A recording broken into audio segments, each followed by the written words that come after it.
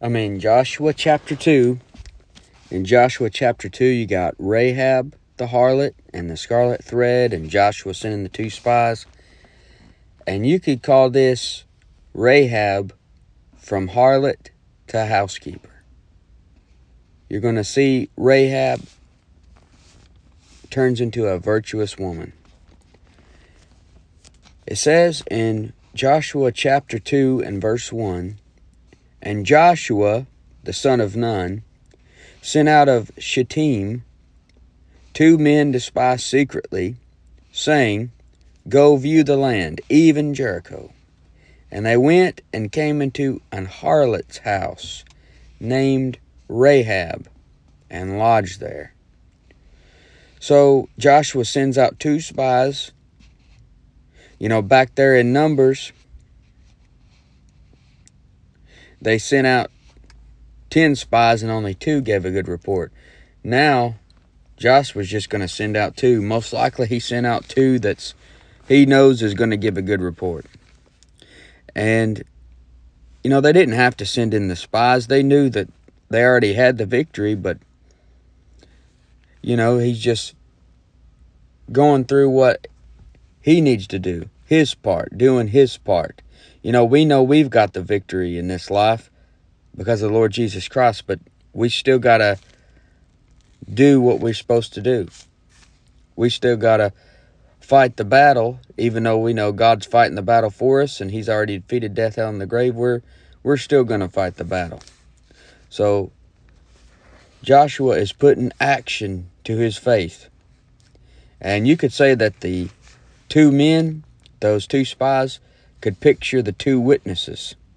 For one thing, they're sent out by Joshua. Joshua, a picture of the Lord Jesus. But you could say these two men picture the two witnesses of Revelation chapter 11 sent out by God, and they're sent out right before the second coming. And every battle in Joshua pictures the second coming.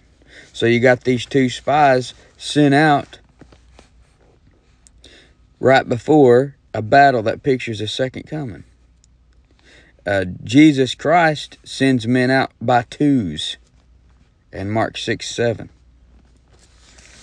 So I believe there's some pictures to all that here. And Rahab, notice this Rahab is still called a harlot, even though she isn't one anymore. And that's a picture of how the world will sometimes still view you from your past life. Your past life can still give you trouble. People, some people will always see you as they used to see you. But it says they went and came into an harlot's house named Rahab and lodged there. Now, she's lodging strangers. What does that remind you of? Well, that reminds me of 1 Timothy 5:10. In 1 Timothy 5 and verse 10, talking about a good woman, talking about a, a widow that the that the church could take on. It says in 1 Timothy 5:10, she's well reported of for good works, if she have brought up children, if she have lodged strangers, if she have washed the saints' feet, if she have relieved the afflicted, if she have diligently followed every good work. So one of the qualifications for a widow that the church could take on was if she have lodged strangers. And that's what she's going to do. Rahab the harlot stepping out by faith, lodging the two spies that came in to spy out secretly. And it says in verse 2 And it was told the king of Jericho, saying, Behold, there came men in hither tonight of the children of Israel to search out the country. You see, the king of Jer- Jericho, a lost man, he knows what's going on. You see, the this reminds me of how the lost people see you, even when you think you're secret. They see what you're doing, they see what's going on. And the king of Jericho said unto Rahab, saying, Bring forth the men that are come to thee, which are entered into thine house, for they be come to search out all the country. You see, Rahab the harlot is hiding the spies. She's no longer taking and hunting for precious life like the wicked woman does. In Proverbs 6:26, look what it says about the strange woman, the wicked woman. Proverbs 6:26 it says by, for by means of a whorish woman a man is brought to a piece of bread and the adulteress will hunt for the precious life. You see Rahab used to be a harlot. Now she's a housekeeper. Now she's lodging strangers, not for the purpose of her own job, but for the purpose of doing something for the Lord. So she's no longer hunting for the precious life in the sense she's trying to be an adulteress. So it says in Joshua 2 4, and the woman took the two men and hid them and said thus, There came men with me, but I wish not whence they were. Now, she's telling a lie here. And she's actually commended for her lying. And that doesn't give us a right to think that we should always lie. You know, exceptions don't overthrow the rule. But let's look at some cases where telling a lie was actually the right thing to do. Exodus 1 15 through 20. It says, And the king of Egypt spake to the Hebrew midwives, of which the name of the one was Shiphrah, and the name of the other Puah. And he said, When ye do the office of a midwife to the Hebrew women, and see them upon the stools, if it be a son, then ye shall kill him. But if it be a daughter, then she shall live. But the midwives feared God, and did not as the king of Egypt commanded them, but saved the men children alive. And the king of Egypt called for the midwives and said unto them, Why have you done this thing, and have saved the men children alive?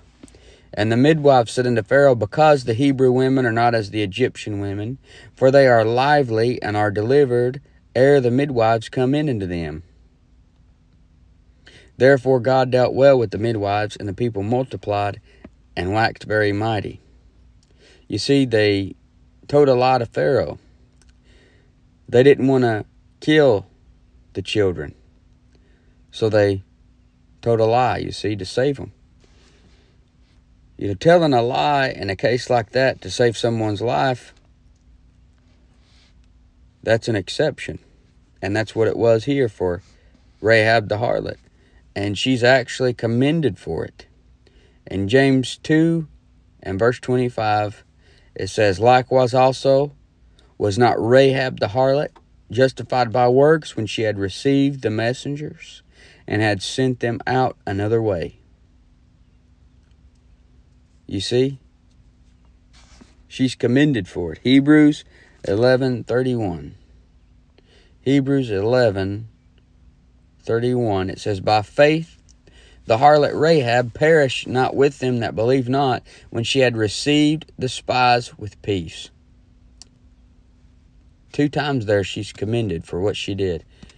And I, I remember a long time ago, an atheist asked me, she's like, since, since it's a sin to lie, what if,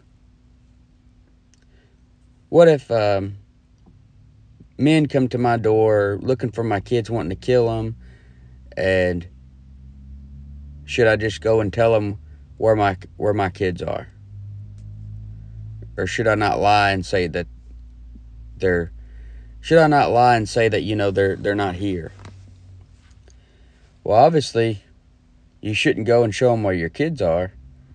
And I was I instantly thought of this story of Rahab the harlot you know, telling a lie in that type of situation, it's an exception to the rule. Telling a lie to save someone's life, you see. Now, since it's an exception to the rule, you got to be careful with it. Most likely, you're not going to be met with too many situations where it's okay to lie, if any. You may go through your whole life and not be met with a situation where it's okay to to lie like it is here. And some some of the commentators will even tell you that Rahab sinned by lying here. But I mean, she's commended for it. It's an exception to the rule. Look at Exodus 20 16. It, sh- it says, it tells you, thou shalt not bear false witness against thy neighbor. But it's an exception to the rule right here. Joshua 2 4, Joshua 2 5. And it came to pass about the time of the shutting of the gate, when it was dark, that the men went out. Whether the men went, I wot not, she says. She's saying, Whether the men went, I wot not. That means she knows not.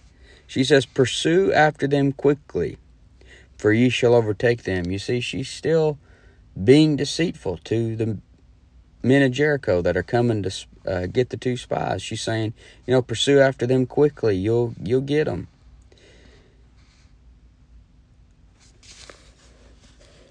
So Rahab is excused for lying because of two other scriptures.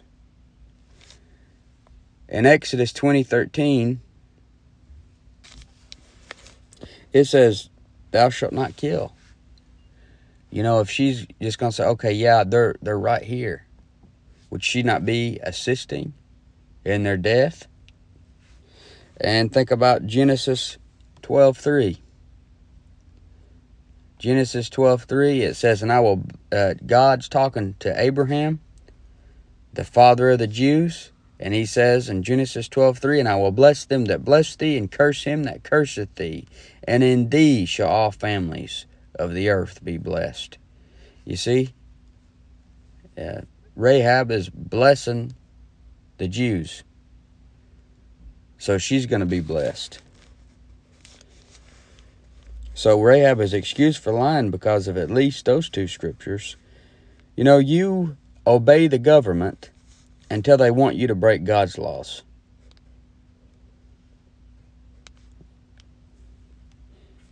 Just like it says in the book of Acts 5:29, it says it's better to obey God rather than men. God didn't make a big deal out of her lying. So why are you making a big deal out of her lying? You see, war involves the art of deception. That's a part of war is the art of deception. A lot of times. You see it in the Bible.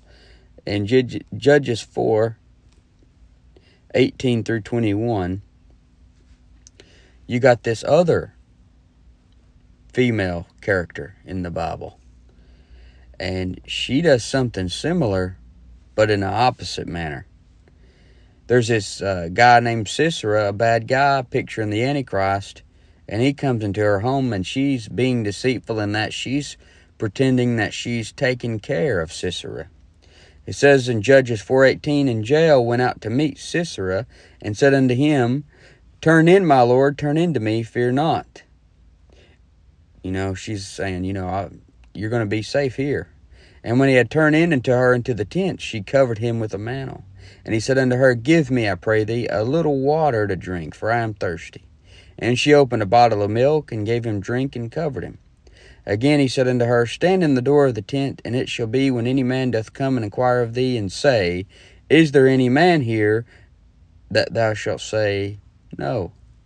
See, he, he's wanting her to do a Rahab the harlot situation here and lie to whoever comes to the door and asks if he's there. But she's going to do the opposite. Then Jael, Heber's wife, took a nail of the tent, and took an hammer in her hand, and went softly unto him, and smote the nail into his temples, and fastened it to the ground, for he was fast asleep and weary, so he died. And behold, as Barak pursued Sisera, Jael came out to meet him, and said unto him, Come, and I will show thee the man whom thou seekest. And when he came into her tent, behold, Sisera lay dead, and the nail was in his temples. So God subdued on that day Jabin the king of Canaan before the children of Israel. So you see, Jael told a lie And she's later commended for it. She lied to Sisera. She um, was lying, pretending she's going to take care of him, but she kills him. And she was later commended for it. You know, a similar situation there. You see, war involves the art of deception. And Rahab was taking part in this war on the side of Israel. Now look at Joshua 2 6. But she had brought them up to the roof of the house and hid them with the stalks of flax which she had laid in order upon the roof.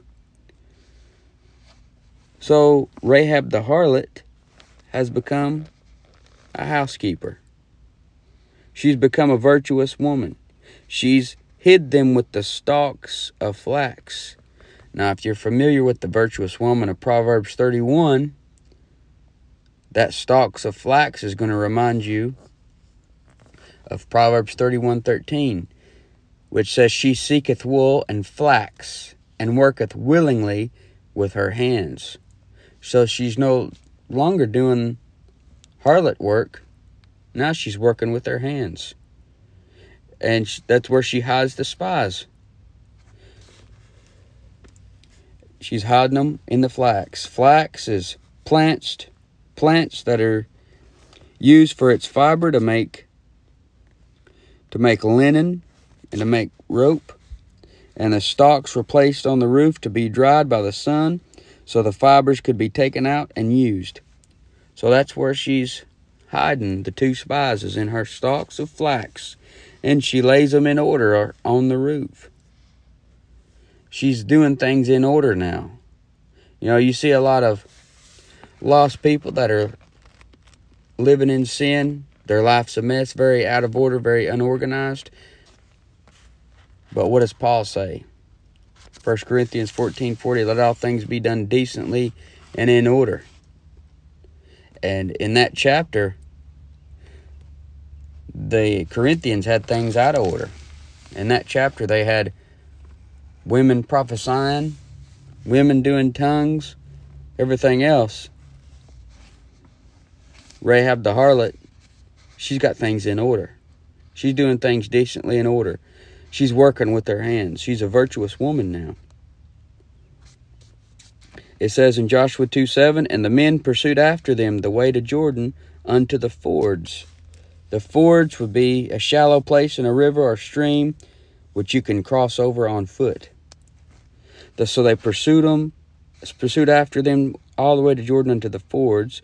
And as soon as they which pursued after them were gone out, they shut the gate, you know, in case the spies were still there. So Rahab no longer wants to trap men like the whorish woman she used to be. You know, she used to take men with her eyelids. Now she's saving the good men. Joshua 2 8. And before they were laid down, she came up unto them upon the roof. Before they were laid down to go to sleep. You know, some uh, some people, some commentators even say that the two spies laid down with Rahab. But no, this is talking about laying down to go to sleep. If Rahab and the spies slept with each other, you wouldn't see the great testimony of Rahab that's coming up in verses 9 to 12. Look at verse 9. It says, And she said unto the men, I know that the Lord hath given you the land. She says, I know that the Lord hath given you the land. She's got assurance. She's got assurance that the God of Israel is the true God just like Paul had assurance. He says in 2 Timothy 1.12, For the which cause I also suffer these things, nevertheless I am not ashamed. For I know whom I have believed, and am persuaded that he is able to keep that which I have committed unto him against that day. He says, I know whom I have believed. Rahab says, I know that the Lord hath given you the land, and that your terror is fallen upon us, and that all the inhabitants of the land faint because of you. Rahab has more faith than most Christians today. more faith than most Christians who have grew up in the Bible Belt. She was walking alone in her faith. She's turned into a virtuous woman. And the Lord knew where to find the virtuous woman.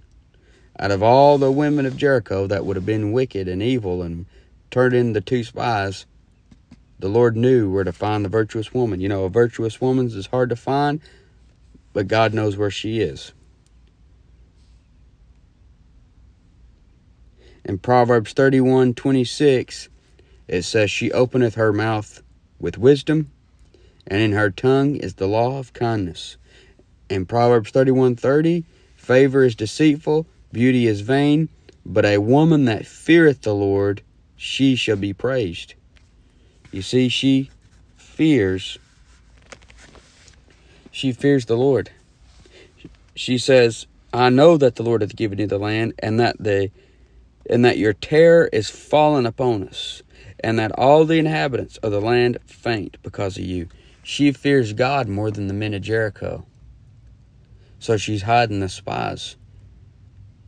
A woman that feareth the Lord, she shall be praised and she gets praised, that's for sure, in the New Testament. So, Joshua 2:10 it says for for we have heard how the Lord dried up the water of the Red Sea for you.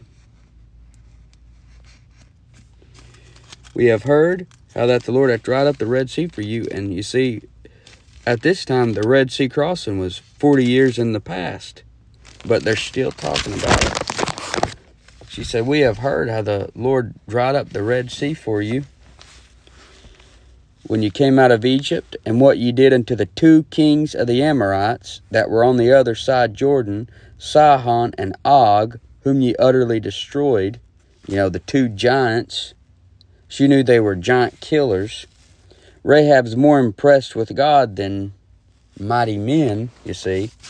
You know, imagine a new guy coming on the playground at school and beating up the biggest bullies on the playground. So they're they're all freaking out. You know, they beat up Sih- Sihon and Og. And these weren't just your average mighty men, these were big men. In Numbers 21, 21 through 30, Numbers 21, 21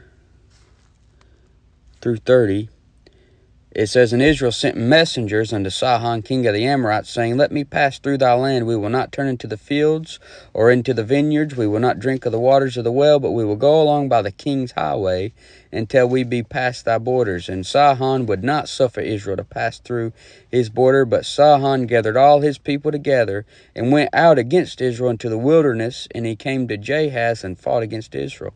And Israel smote him with the edge of the sword and possessed his land from Arnon and unto Jabbok, even unto the children of Ammon, for the border of the children of Ammon was strong, and Israel took all these cities. And Israel dwelt in all the cities. Israel dwelt in all the cities of the Amorites, and Heshbon, and all the villages thereof. For Heshbon was the city of Sihon, the king of the Amorites, who had fought against the former king of Moab, and taken all his land out of his hand, even unto Arnon. Wherefore they that came, they that speak in Proverbs say, Come into Heshbon, that the city of Sihon be built and prepared. So you see, they they took out Sihon, they took out Og in Numbers 21, 31 through 35, and he was a giant king, Og, king of Bashan. And he's mentioned in several places. He's mentioned in Deuteronomy 3.11. He's mentioned in Psalm 135, 6 through 11. In Psalm 135, 6 through 11, it says, Whatsoever the Lord pleased, that did he in heaven and in earth, in the seas, and all deep places. He calls it the vapors to ascend from the ends of the earth. He maketh lightnings for the rain. He bringeth the wind out of his treasuries. Who smote the firstborn of Egypt, both man and of beast? Who sent tokens and wonders into the midst of thee, O Egypt, upon Pharaoh and upon all his servants, who smote great nations and slew mighty kings? Sihon, king of the Amorites, and Og, king of Bashan, and all the kingdoms of Canaan. It's the Lord that drove them out and Rahab's more impressed with the Lord than these mighty men, Sihon and Og. She says they were utterly destroyed.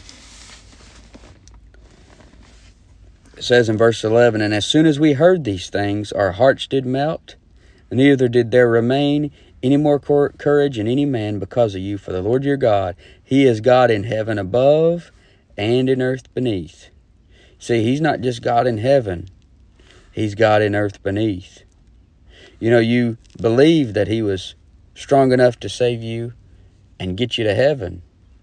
Why don't you believe He's strong enough to fix your problems on earth while you wait to go to heaven? So they heard. They've heard all these great things about Israel. And it says in verse 12, Now therefore I pray you, swear unto me by the Lord, since I have showed you kindness, that ye will also show kindness unto my father's house, and give me a true token. You see, she can see the signs of the times. She can see that Jericho is about to be destroyed. She can see that the wrath is about to be laid down close to home. And she wants a true token.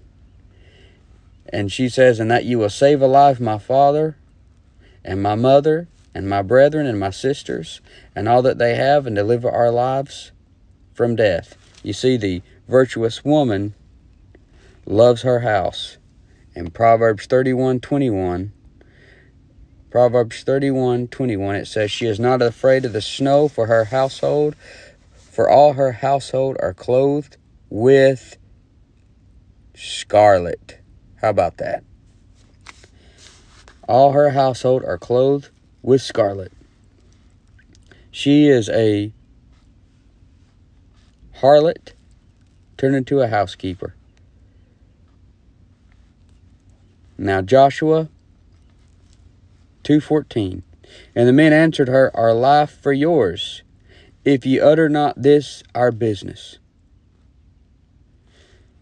That's what the two spies said to her, Our life for yours, if ye utter not this our business.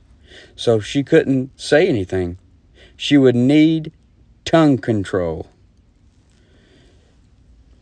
You know, she can't be like those women that Paul was talking about working not at all, but, but are busybodies, taddlers. And it says, And it shall be when the Lord hath given us the land that we will deal kindly and truly with thee. They're going to spare Rahab when they come in to destroy Jericho.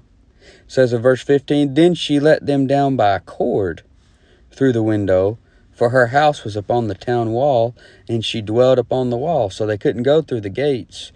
They, they went down the town wall the wall that's that was around Jericho, she lit. She her house was in the wall, so it was super thick. And she let them down by a cord. Cords are for binding. And the blood of the Lord Jesus Christ binds you to God. It says in verse 16, And she said unto them, Get you to the mountain, lest the pursuers meet you, and hide yourselves there three days until the pursuers be returned, and afterward you may go your way. So she's saying, get to the mountain. Kind of reminds you of what the Jews will be doing in the tribulation, fleeing to the mountains. It says, And the men said unto her, We will be blameless of this thine oath, which thou hast made us swear. Behold, when we come into the land, thou shalt bind this line of scarlet thread in the window, which thou didst let us down by, and thou shalt bring thy father, and thy mother, and thy brethren, and all thy father's household home unto thee. There's that scarlet, just like the virtuous woman. Proverbs 31 21. She is not afraid of the snow for her household, for all her household are clothed with scarlet. So it says, Behold, when we come into the land, thou shalt bind this line of scarlet thread in the window, picturing the blood of Jesus Christ. And thou shalt bring thy father and thy mother and thy brethren and thy father's household home unto thee. You know, they told the Philippian jailer, Believe on the Lord Jesus Christ, and thou shalt be saved, and thy house. Of course, she wants to get her whole household in. Acts 16:31. You know, the thread is for mending, for mending things. And the blood fixed you up. The blood of Jesus Christ fixes you up. And these people would have had to come into Rahab's house of their own free will. Rahab's house is acting like Noah's Ark. It's acting like the body of Christ does for us. You get in Rahab's house here, you're safe because of that scarlet thread. And it shall be that whosoever shall go out of the doors of thy house into the street, his blood shall be upon his head, and we will be guiltless. And whosoever be with thee in the house, his blood shall be on our head, if any hand be upon him. So you see, Rahab's house was the safe place. It was their Noah's ark. And if thou utter this our business, then, the, then we will be quit of thine oath, meaning they won't be bound to it anymore. They will be quit of thine oath which thou hast made us to swear. And she said, According unto your words, so be it. She's saying, Amen to the words. And she sent them away, and they departed, and she bound the scarlet line in the window. And that's where you get the, the saying they use today, the red light district. So she put the scarlet line in the window. A line is put out to hold something, and God runs the line to you with the blood of Jesus Christ. You're kept by the power of God. You're kept by the blood of Jesus. And they went and came into the mountain and abode there three days. And the pursuers were returned, and the pursuers sought them throughout all the way, but found them not. So the two men returned and descended from the mountain and passed over and came to Joshua the son of Nun and told him all the things that befell them.